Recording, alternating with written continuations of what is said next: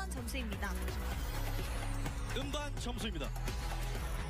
글로벌 소셜 미디어 점수입니다. 글로벌 팬투표 점수입니다. 엠넷 방송 점수입니다. 네, 마지막으로 생방송 투표 점수를 합산한 영광의 1위는 축하합니다.